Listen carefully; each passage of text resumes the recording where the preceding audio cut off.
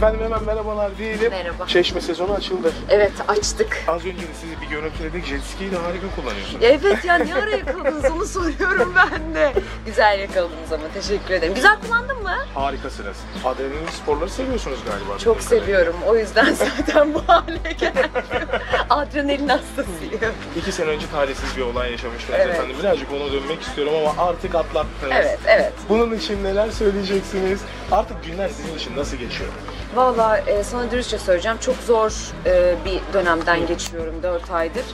Meme kanseri ve iki metastaslı kürek kemiğimde ve koltuk altı lenf bezimde çıktı. İki yıldır elime geliyordu bu kitle ama önemsemedim ben. Başka şeylere yordum. Spor yaptığım için olabilir falan dedim hatta. Ondan sonra en son gösterdiğimiz yerde bunun kötü huylu ama agresif olmadığını söylediler. Agresif olmaması da benim için bir avantajdı. Çünkü daha başka yerlere de sıçrayabilirdi. Ama şimdi buradan tabii ki bazı insanlara şunu söyleyeceğim. Özellikle kadınlara. Kendinize dokunmayı unutmayın. Çünkü kontrol ve erken teşhis hayat kurtarıyor. Ben üçüncü evredeydim ve ölümümle yani Allah korusun. öyle demek de istemiyorum ama her şeyin artık çözümü var. Ee, Allah şükür böyle atlattım. Şimdi mutluyum. Ee, yeniden hani ilk doğduğumuz anı bilmeyiz. Annenin karnında neler yaşadığımızı ama benim gerçek doğumum sanırım bu dört gün önceydi. Aldığım haberleydi. Ben yeniden doğdum. Doğum günü tarihimi bile değiştirdim. Evet. Burada da dün Murat Dalkılıç vardı, Kemal Doğulu vardı. Hepsiyle kucaklaştık. Hepsi çok destek oldular bana. Sağ Dört gün önce çok mutlu haberi aldınız aslında. Evet, evet. Ya hayata döndüm ben. Yani bu kadar beni değiştirecek bir şey olduğunu düşünmedim açıkçası.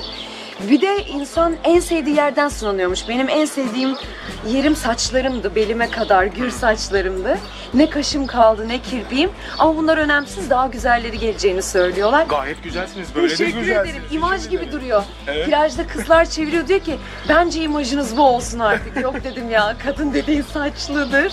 Ama bakalım her şeyin sağlıklısı gelsin. Hayatta artık her şeyin sağlığını istiyorum. Önce sağlık sonra her şey olur. Dört gün önceye döneceğim ama bir, birazcık Tabii ki de. geriye gitmek istiyorum. Ee, ilk o haberi aldığınız zaman, kemoterapiye başladığınız zaman, saçlarınızı kaybettiğiniz zaman neler hissetmiştiniz? Ee, ya ben aslında bana de- dediler ki işte evet dökülecek saçların. Ben zannediyorum ki biraz kadınlar elinde saçını alır iki tel üç tel falan dökülür. Ee, dedim böyle değilmiş. Her tuttuğum yerde deste ve şuralar açılı açılı elimde kalınca en son aldım makineyi kendim kazımaya başladım. O biraz zorluydu. Bir de en son çok üzüldüğüm dönem e, Kaşımın kirpiğini sabah makyajı sildikten sonra sıfır bir yüz. Göz altlarım o, o benim biraz psikolojimi dağıttı. Ama sağ olsun etrafımda gerçekten çok iyi insanlar biriktirmişim onu söylüyorum. Ee, onlar beni hayatta tuttu. E, en önemlisi dualar. Ee, Valla şu an kurtulduğumu acayip mutluyum. Ağlamak da istemiyorum artık sürekli her yerde ağlamaktan. Çok mutluyum ya. Ne bileyim sizlerle bu röportajı yapmak bile çok güçlü hissettiriyorsunuz bana. Her şey bana inanılmaz enerji veriyor. E, hemen e, peruk takmaya başlamıştınız. o peruğu da attınız artık. Attım, attım. O benim tabii yol arkadaşımdı bir dönem. Gerçekten beni çok zor psikolojiden kurtardı. Yalan söyleyemeyeceğim. Çünkü yıllardır kafatasınızın bile ne olduğunu bilmiyorsunuz. Kazıldığında altından kepçe kulak mı çıkar, yamuk bir kafa mı? Ama e, o perukla bazı şeyleri atlattım. Sonra da dedim ki yani ne peruğu, o haberi aldığım an çıkardım fırlattım Evet, dedim o sana. habere gelmek istiyorum. Dört gün öncesine. Evet, evet. Neredeydiniz, ne yapıyordunuz ve o mutlu haberi aldığınız zaman ilk tepkiniz ne oldu? Şöyle, e, Mecidiyeköy'de alışveriş yapıyordum. E, orada dolaşırken PET raporumun sonuçları geldi. Ben de Didem Taştekin var. E, benim onkoloğum. Ona sevgiler yolluyorum. Müthiş enerjili bir kadın. E, ona attım WhatsApp'tan. E, dönmedi. Saat 3 oldu hoca dönmüyor. Dedim ki herhalde ölüm haberim var. Allah. Yani ya anneme ulaşmak istiyorlar. Bir şey oldu ve saçma sapan alışveriş yapıyorum ama ne aldığımı bilmiyorum, ne yaptığımı bilmiyorum, ne yediğimi de bilmiyorum. Sonra açtı telefon dedi ki Şimal'cim ameliyattaydım kusura bakma. Ee, ne ısmarlıyorsun dedi. Mecidiyeköy'ün ortasında kendimi yere bıraktım. Bağıra bağıra ağladım. Yani rezil olmuşum. O bakmış. Hayır, ben o an doğdum. O sancılı dönemi atlattım. Ondan sonra zaten aileme haber verdim. Annem çığlıklarla ağlaya ağlaya. Allah seni bana bağışladı. E annem için daha zor malum Kesinlikle. anneler. Benim kürek kemiğim ağrırken annem sırtımı sıvazlıyordu kürek kemiğim ovarken. Bana çok has yani düğümleniyorum. Bana dedi ki senin kürek kemiğin olmak istiyorum ama demek ki anne bile yetişemiyormuş. Atlattık be.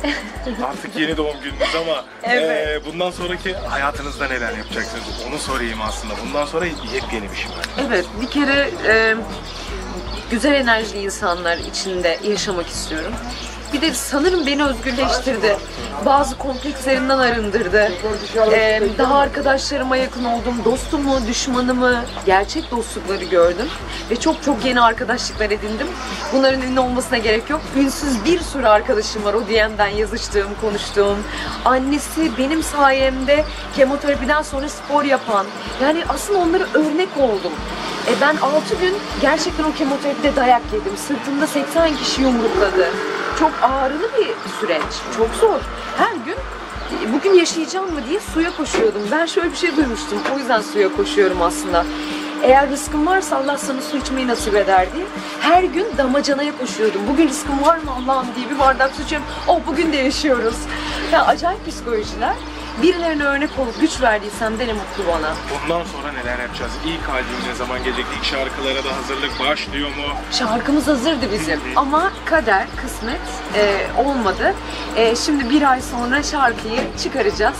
O benim böyle e, ellerimle, emeğimle yaptığım çok güzel bir Zeki Güner bestesi var. Söz müziği Zeki Güner. E, Celil Yavuz aranjesini yaptı. Teoman Topçu klibini çekti. İnanılmaz bir iş oldu. Yine DMC ile çalışıyorum. E, artık sağlığıma kavuştum. Geliyorum aranızdayım inşallah. Evet, sağlığınıza kavuştunuz. Anne de sizi artık tatile yolladı. Git bir artık Evet. tatil yap diyor. Artık annem de diyor ki bizi bile olgunlaştırdın. Hani evlat annesi, annesi evladını olgunlaştırıp büyütürdü diyordu. Sen bizi e, yani tabiri caizse çok kaba olabilir ama e, adam ettin. Yani biz insanlık gördük. Can kaybı ne demek gördük. Çünkü hiçbirimiz bunu yakından yaşamamışız kızım dedi. Allah senden razı olsun dedi. Asıl onlardan razı olsun. Aile gücünü çok hissediyorsun böyle zamanda. Çok önemliymiş. Peki efendim çok teşekkür Ben ederiz. teşekkür Çok ederim. sağ olun. Zahmet oldu. Ne demek olur mu? Çok şey? öpüyorum hepinizi. Çok sağ olun. Kendinize iyi bakın.